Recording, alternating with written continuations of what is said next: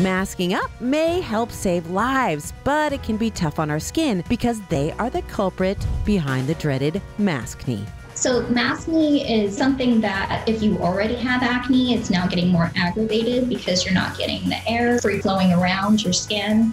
And then you've got the friction, the back and forth friction.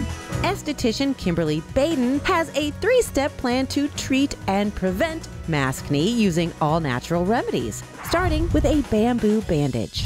Kimberly calls these bandages Mother Nature's triple threat because she says they help kill acne bacteria three ways. This stuff is naturally antibacterial, so that's that's the first thing. And then on top of it, it's got aloe, which is also another antibacterial. It's breathable, which is something that is a huge component because the bacteria that causes the problem in the first place is largely anaerobic. So that means they can't survive in the presence of oxygen.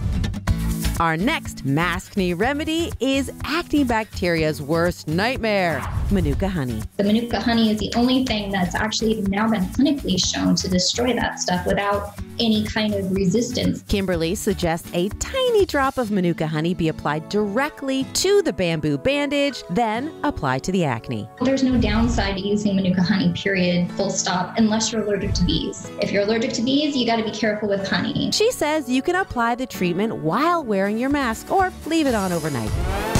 Kimberly's final maskne busting tip is keeping those masks clean. It's a tough task, but a must. You know, you may not be changing out those masks as often as you should. You may be reusing them. I know that a lot of my clients, I've seen them do this. They take their mask off, they wad it up, they stick it in their pocket, or it goes in their purse. Those aren't good environments for keeping down the amount of bacteria that you're now going to be putting back on your skin. Kimberly suggests always having three clean masks in plastic sandwich bags and at a minimum, change them out once each day. You can find the bamboo bandages and Manuka honey online and at your local health food store, keeping the maskne at bay the all natural way.